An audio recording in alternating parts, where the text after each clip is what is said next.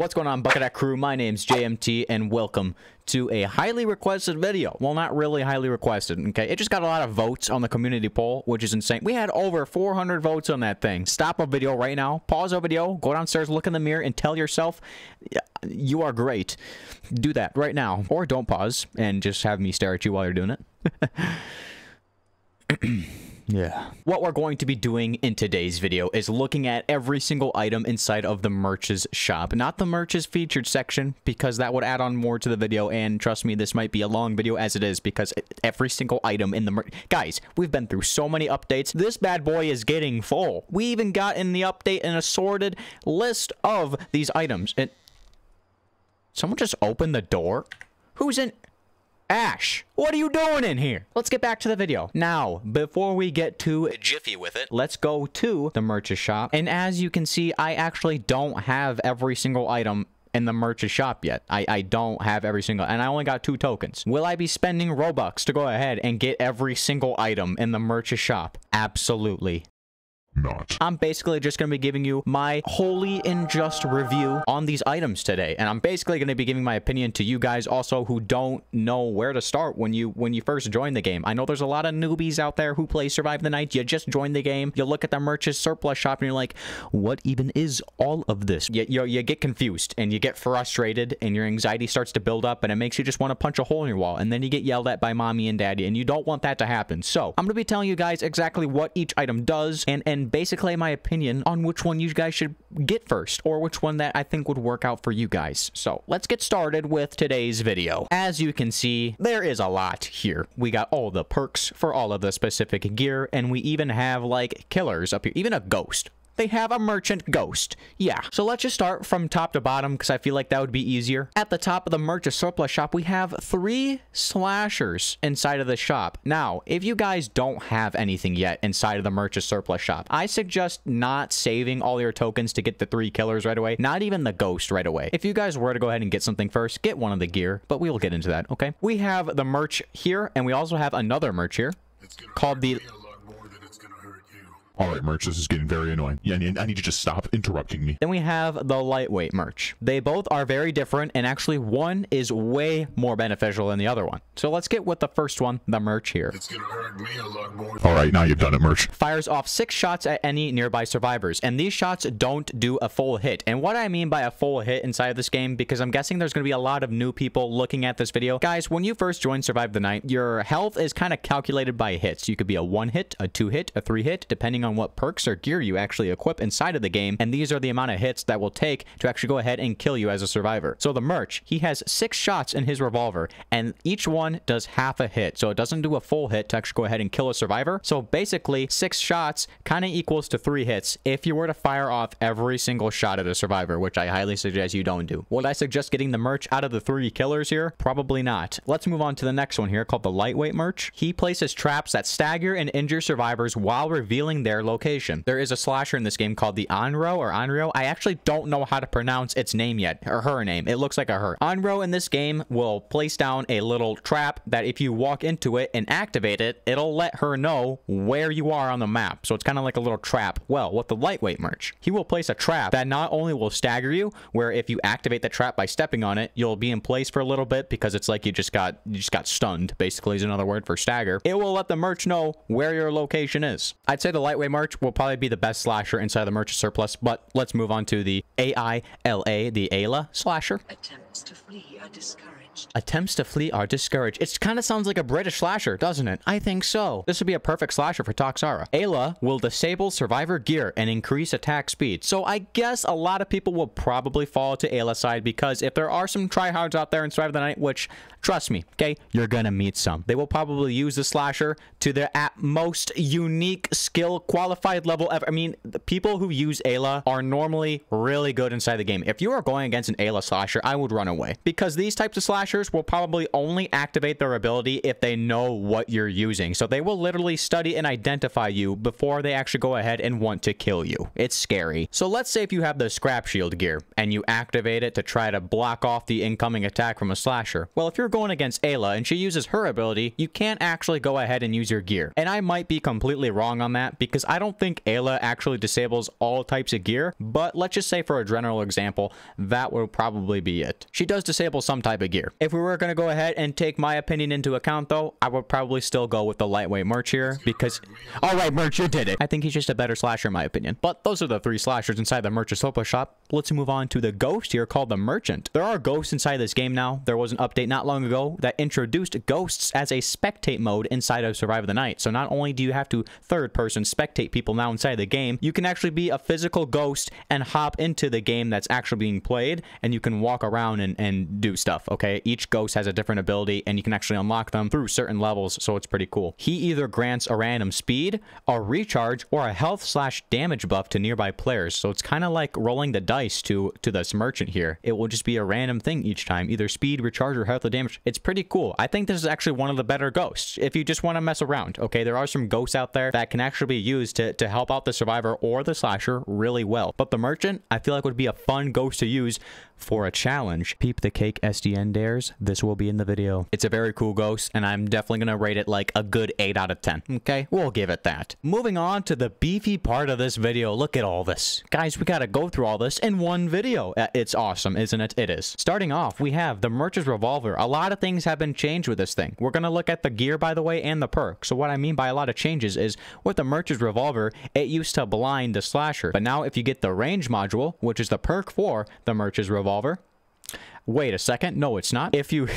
oh my... I actually don't know what's going on. Here it is, the micro rounds. If you use the micro rounds with the Murch's Revolver, which is the specific perk for the specific gear, guys, if you are new again, I'm sorry I keep cutting off the Murch's Revolver. You're probably like, JMT, get on with the video. I want to know. There are perks here in the Murch's Surplus shop that, as you can see, like this one says Murch's Shield. It only applies to the Murch's Shield, which is right here. If you use this perk with any other gear, it won't work. So this that's what I mean by that. So if you use the micro rounds with the Murch's Revolver, it no longer blinds, but you can now fire three shots that will stagger the slasher instead. The reason why I think this is a downgrade from the original micro rounds is because when you used to go ahead and actually blind the slasher, you used to be able to hear like where you were walking. and like all the volume around him. But now if you actually go ahead and blind the slasher, he can't hear that anymore. Therefore, when he's actually blind, he's actually blind and he won't be able to still track you by where you're walking. So that worked out really well when people were using the micro rounds with the merchant Revolver. But now if you use the Murch's Revolver and micro rounds, it just staggers the slasher. He can still see you when you shoot him, which just sucks because right when he comes out of stagger mode,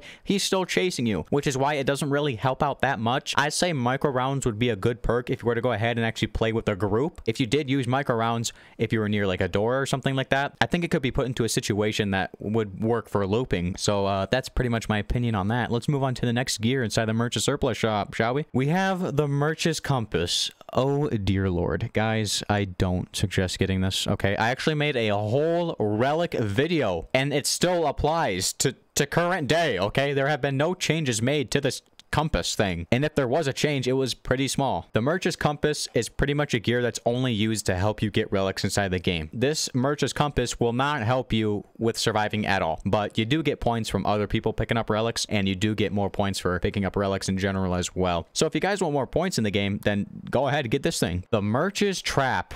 Oh boy. Guys, can we get a slow clap in the chat? They did a whole nerf on traps. Just just traps. Like not just the merchant's trap. No, just traps in the game. The dev team realized that hey, people who use traps are like insanely overpowered, especially when multiple people use traps because you can spam them around the map and pretty much never get caught, especially with the merchant's trap and the trap restock perk. Let's take a look, ladies and gentlemen. If you have the trap restock perk on for the merchant's trap, not only do you get increased health, but the merchant's trap restores gear recharge when tripped now. So whenever the slasher actually trips your trap now, if you have have the trap, like the Murch's trap on that is, with the trap restock perk, it will refill your gear recharge to go ahead and place another trap. So yeah, when multiple people were using this thing, they were placing it all over the place, and it was pretty much just spamming the entire map, and, and the slasher really couldn't go anywhere to actually kill people. You just kept getting staggered every time you stepped on a trap. It was pretty ridiculous, but they did a whole nerf on like setting down traps and stuff like that. You can still set down traps at a very steady pace, but let's say if the slasher actually did trip a trap, he wouldn't be staggered by the next trap for like a total of 20 or 25 seconds, somewhere around that time range. I don't exactly remember what the time range was. It might not even be 20 seconds because that's actually a long time now that I think about it. But there's a certain time period where he actually can't get staggered again by a trap from this nerf. So it does help out quite a bit. So if you guys really want to learn a rotation pattern and how to effectively use a gear that will help you in rotation, I definitely think that the Murch's trap will work out really well with the trap restock. So I think you guys should, should get that one first. Moving on, we have the Murch's trash, but I mean tracker. Yes, that was a joke. Now laugh. The Murch's tracker tracks the distance to the slasher. And I don't know why I make fun of this all the time. I think I just make fun of like the normal tracker, but the Murch's tracker is actually not that bad. If you guys do know how to calculate and learn stud distance, then this thing would be like very good to use. I'm not even kidding either. The range module, which is the perk for the Murch's tracker, will show the range to the slasher based on stud distance, of course,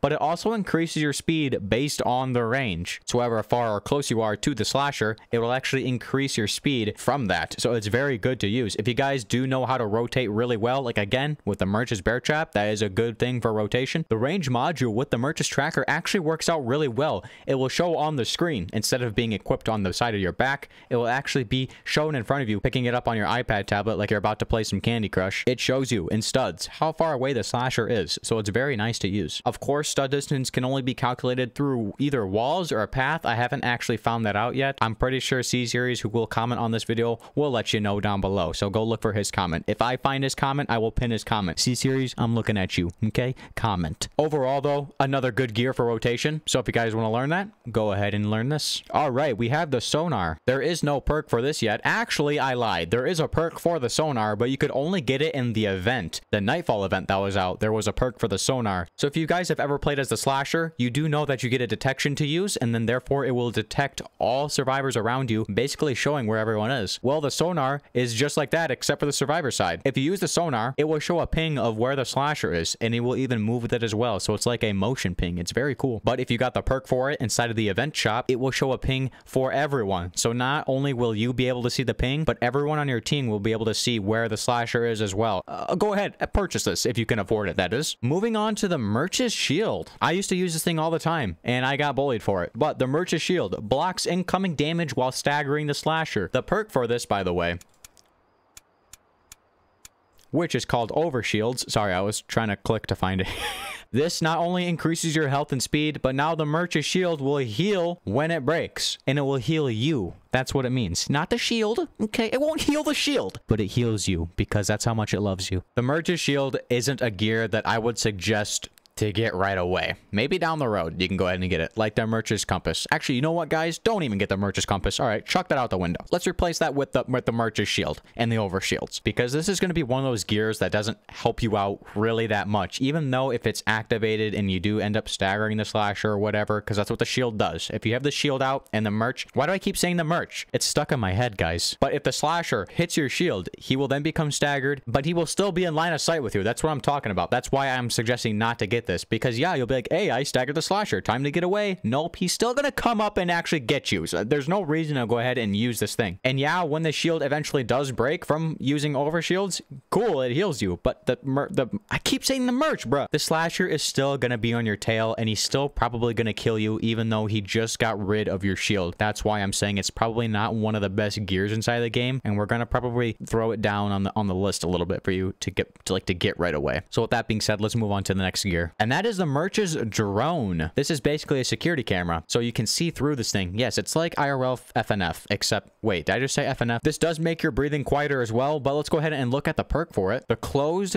circuit audio. This will let you play a taunt through the security camera. When the door creak taunt first came out, I actually saw a video or two of people actually trolling with this gear because they were playing the door creak taunt through the camera, and the slasher is pretty much like, hey, there's a door opening over here. Let me go to that location. It was used pretty well as a little troll thing The Murch's drone, I don't think it's going to be one of those gears, again, to help you survive. I think this is more of a fun gear and a gear to use instead of a STN Dares, by the way, with cake. Okay, this might be in it too. Who knows? I think it's just a fun little gear to use. And it has a cool idea as well. And it can be used effectively, like the door creak that I was just mentioning. But if we were to go ahead and actually help you out with survival, probably not as much as some of these other gears will too much. So with that being said, let's move on to the legend itself. Guys, I have my hand over my mouth because I'm just in awe. The Murch's vision. Oh, why did I make that noise, bro? The Murch's night vision. The Murch NVG. Yes, sir. We're not looking at the part where it improves your vision in dark areas.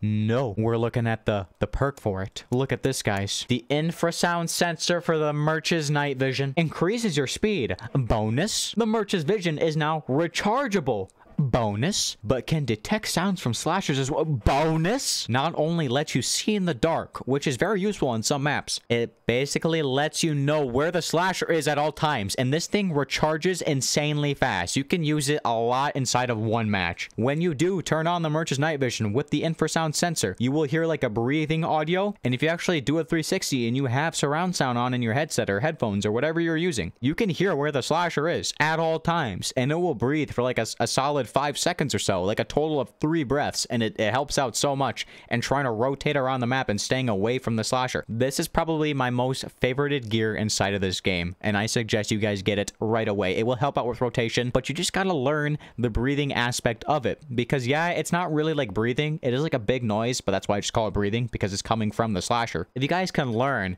that the audio is coming from a specific direction, this would help out so much, but you have to learn it, because I know a lot of people will just use infrasound sensor, they'll turn on the night vision. What the heck is this noise that is being played inside of my headset? But if you can learn where that noise is coming from, even though it's so loud, it helps out so much, which is why it's my most favorited gear because I love using it in rotation. Next, we have the Murch's Welder. Place down and build a barricade. The perk for the Murch's Welder is so cool. It's insanely cool. And it is called Smart Plating. So now the Murch's Welder, which is a hammer, by the way, the hammer inside the game lets you build barricades inside of the match, which the slasher then has to tear down, like a total of three hits, I think it is, and then he can break through the barricade and start his chase again, whatever. But if you have Smart Plating for the Murch's Welder, or the Murch's Hammer, hammer, whatever you want to call it. It now has a reduced cooldown and the barricade will auto build and it builds it faster. So now, let's say if you did have the hammer inside the game and you place down the formal little barricade thing and then you got to sit there and put on the three planks. If you have smart plating on for the Murch's Welder, you just have to set down the barricade and you can walk away and it will build the barricade for you. And it doesn't reduce like the health of it at all. It's still three hits. It's still normal health, just like the hammer inside of Survival the Night. But it's one of those gears that, yeah, it's a cool perk to have for the specific gear, but the hammer does the pretty much the same thing, and it doesn't really change up the game too much. If you were getting chased by the slasher and you actually pert down the smart plating, it shouldn't build it fast enough where you can actually go ahead and block off the slasher, unless he's like a farther distance away from you, but he's still chasing you, if that even makes sense. Is it a gear that I suggest to get right away if you don't have any gear inside Survive the Night? Probably not. But let's move on to the next one, and that is the Murch's Decoy. So this will drop a decoy that makes Survivor breathing sounds, and then it makes your breathing quieter as well. So this is like the audio player. And let's look at the perk for it, which is called the sonar receiver. So this increases your speed, and now the Murch's decoy will send sonar pings when the slasher approaches it. The audio player, basically, when you drop it on the ground, it'll imitate breathing noises, survivor breathing noises, that is, and the slasher will be like, hey, there is a survivor here. But wait, the, there is not, because it's the Murch's decoy. What the heck? If you have the sonar receiver for this thing, it will send you pings when the slasher actually approaches it. I met a lot of audio player users out there who are really well. I actually hosted a tournament not that long ago for my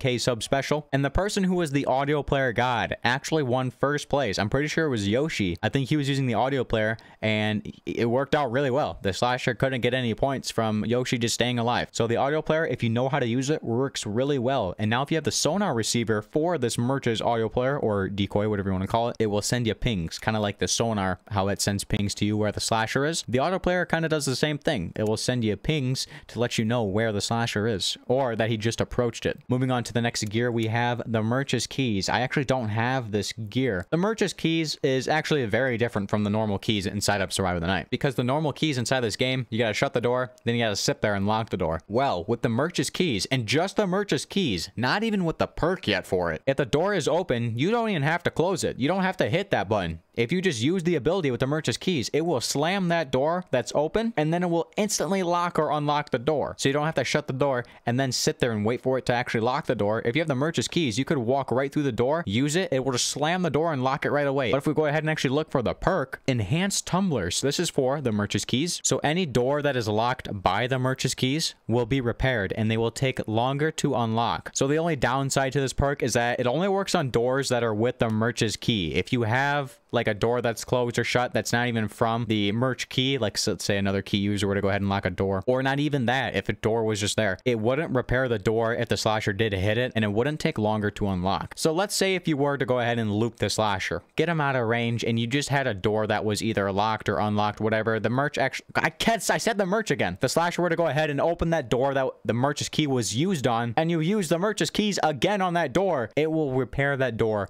all the way and then it will take longer to unlock. Okay, if you're playing as a slasher and a door is locked, just break it down. Okay, it takes two to three hits. It's not that much. That's another reason why I think the Murch's keys aren't exactly that well. Okay, I was kind of talking about it for a long time, and you guys are probably like, wow, the Murch's keys are they're actually pretty good. And then I get to the point at the end here, the conclusion, and I'm just like, actually, you know what? They're not that good.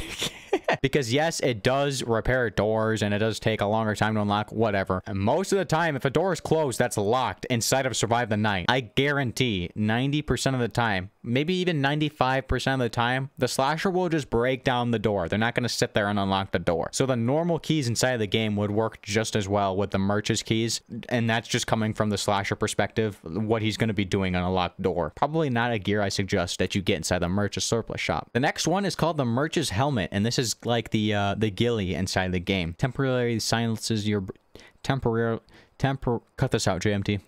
Temporarily silent. I can't say that why didn't you cut this out, JMT? So this is like the ghillie inside of the game. Let's look at the perk for it, the inbuilt sensor. So when the Murch's ghillie, that's what I'm going to call it, by the way, not the helmet or whatever, the Murch's helmet. I'm going to call it the Murch's ghillie. When the Murch's ghillie is activated, it will quiet your breathing to like a 0%, where the slasher can't even hear you breathe. But if you have the inbuilt sensor perk for the Murch's ghillie, the duration will be increased from the use, and it will also alert you if the slasher can hear your breathing. So without even activating this type of gear, if you are near the slasher to a point point where he can actually hear your breathing, the helmet will let you know, like, hey, you should probably get away farther because the slasher can hear you. And I use the ghillie quite a bit inside the game as well. The ghillie works out very well if you want to go ahead and either hide in a bush while you're looping or in a rotation where the slasher actually changes up his direction and ends up running into you. Activate the Murch's ghillie while either hiding in a bush or behind a wall or something like that, and he won't even hear you. Probably won't even take a second to to think again, like, hey, he's probably over here. And if you have the inbuilt sensor for the Murch's ghillie, that also helps out extremely well. Kind of letting you know if you were to go ahead and follow a rotation pattern that the slasher can hear your breathing and you should change up your rotation and just go the other way probably. This would be a perfect gear for starters inside of Survival of the Night if you didn't have anything inside that Murch surplus. I suggest getting this one right away. So start saving your tokens. Moving on, we have the Murch's Potion. Increases your health and heals yourself. So this is just like the bandages. Let's look at that perk for it. The Original Brew. So it increases your speed and now the Murch's Potion will partially increase your max health every use. The downside to having bandages inside of this game is you can only use it if you were attacked. With the Murch's Potion, if you had the original brew on, which is the perk for it, you can use the gear whenever you want. And each time you use the gear, which is a gear that actually heals you if you were to get hit, it will increase your max health every use. And I'm pretty sure it increases it by half a hit. So let's say if you just enter a game and you have original brew on with the Murch's Potion, just use it every chance you can get. Right away, use it. Wait for the ability to fill back up or your gear to fill back up and then use it again and it will just start to fill up your max health. So not only is this a gear that you can just use whenever you want, you don't even have to think about it, which works perfectly for those types of people, but you can actually use it as well if the slasher were to end up chasing you and get a hit off, then you could use it again to increase the health where you got hit and perhaps do some looping to get away from the slasher. It works really well for just using it as a bandage if you were to get hit by the slasher Or if you're just wandering around the map as well, you could just use this thing and, and fill up your max health every time by like half a hit, whatever it is. I don't exactly know. C series. This is this one's for you again. So this is also a gear that's going to be ranked highly on that list for people that I su suggest you to get right away. Go ahead and get this gear right away if you don't have a gear inside of the merchant surplus yet. All right, this would be another perfect one for you. The next gear is called the Murch's smoke bomb. This is basically the road flare. And guys, oh my lord, the road flare was nerfed by quite a bit. The road flare is not good inside this game anymore. It's just not good. Before, you could just place down the road flare and it will activate right away. And not only will it blind and slow the slasher, but it, it just activates right away. Now, if you use the road flare inside this game, you can throw it down on the ground and then you have to wait for it to activate and then it will do its magic, whatever. Which doesn't work at all if you're being chased by the slasher. It's not going to work. The slasher's still going to come after you because it'll probably activate after he's past it. Which is why I'm not even going to talk about the Murch Smoke Bomb that much, but the perk for it, called the Shockwave module, will not only blind the slasher, but it will stagger him as well. But then again, it's one of those gears where you have to sit there and wait for this thing to actually activate because they just completely nerfed a lot of the, the road flares, or all the road... Why am I saying like a lot of the road flares? Like not all of them. That's not what I meant. I meant all the road flares. Snap out of it. Murch Smoke Bomb it's going to be down on the list. Okay, I don't suggest you get this. Moving on, we have the supply bag. Increases your health, and now you can drop a bag to resupply survivors. My, my, voice just cracked. I think I am aging, is what they call it. If that was cringy, leave a like on the video. I think the supply bag has a perk, but again, it's one of those event perks. So I don't think it's in the Murch surplus shop, but I think the supply bag does have a perk for it. It was an event perk, however. Basically, what this thing does is you can throw this bag on the ground, and if survivors were to go ahead and come up to it and they needed a gear recharge, they they could use this and it will recharge their gear. But if you had the perk for this inside that um, event of the Nightfall, it would not only gear recharge, but I think it would heal them as well. Most of the people that I see who use the supply bag, they will throw it on the ground and people don't even, like, they'll walk right past it. They won't even use it. So, um, again, if you actually have a team who knows what they're doing and you do know each other, maybe to go ahead and say, hey, I threw down a supply bag, use it. I mean, other than that, probably not a gear that I suggest getting right away if you don't have a gear that is. So it's going to be down on the list again. Or not again, like this is going to be down on the list. It's going to be another gear down the list. The Murch's sensor. I said that so dramatically. So this is basically like the motion sensor. If we have the perk for it called the energy transfer. Now the Murch's sensor will speed up the user when triggered. So the Murch's motion sensor, basically the Murch's sensor, whatever, if you do place it on a wall and the slasher were to walk past this Murch's sensor, it will beep letting you know, hey, like the slasher is over there. And it will beep pretty loud. You could probably hear it on the other side of the map. It's, it's a pretty loud noise, I'd say. And I don't even know if you could hear it on the other side of the map. It, I guess it depends what map. I am rambling way too much. The motion sensor is used to, to kind of let you know where the slasher is if you were to go in that area. So it's very good for getting away from the slasher and it's just very good, again, for a rotation purpose. I think this is a very good rotation type of gear. So this is going to be one of those gears I suggest you guys you guys to get, if you don't have a gear, that is. Moving on to the next gear, we have the Murch's backpack. The backpack was actually just introduced not that long ago. It's a gear that everyone can get. You don't even have to get it randomized, okay? You can get this gear inside of the lobby. That's the only way to actually get this gear. I did make a video on how to get the backpack. It's actually thrown into an update video that I did, if you don't have the backpack, that is, because you got to build it in the lobby. The Murch's backpack, you can place down a camping tent and then it will silence your breathing while hiding inside. If you have the perk for the Murch's backpack called the Old Pirate Bag, which really isn't a perk for the Murch's backpack in general, because you can use this perk and it will actually give you 60% chance to avoid the slasher without even having the Murch's backpack on. But since it has the Murch's backpack in the description, I'm going to be applying it to the Murch's backpack. You can pick up your Murch backpack now after you place down the tent. So this is technically like a portable ghillie. And if you're inside the tent as well, I'm pretty sure the slasher has to break the tent before it can even start to hit you. So therefore, it's kind of like a little portable bush as well. The only downside to this thing is that it's extremely big when you place it. It's a it's a whole tent that you're placing in the in the map, bruh. You'll place down this tent, and if you go in the tent, you can actually activate it to then cover your breathing. So with all that being said, uh, the downside to it is that it's just very big, and it does take a while to go ahead and actually activate the Murch's tent once it has been placed, or the the Murch's backpack, whatever you want to call it. So therefore, I wouldn't really throw this up on the list for to to, like to get right away, this would probably be another gear that would be lower on the list. But the old pirate bag perk for the Murch's backpack, just using the first part of it where you get a 60% chance to avoid the slasher, now that would be a good investment. If you guys want to go ahead and get a perk that would help you out in the game a lot, the old pirate bag, a definite buy. Moving on, guys, to the last gear inside this video. I know, I know.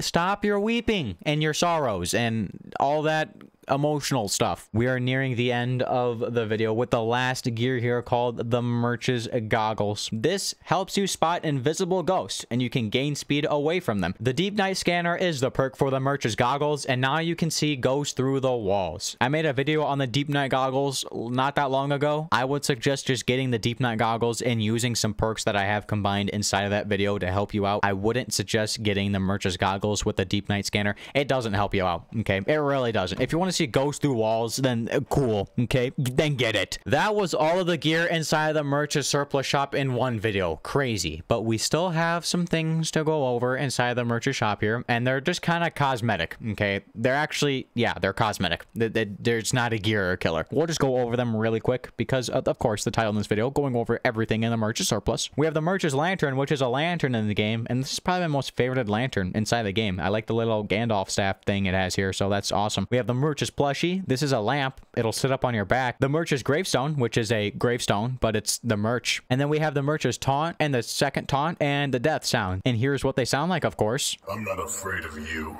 You know this is really getting old.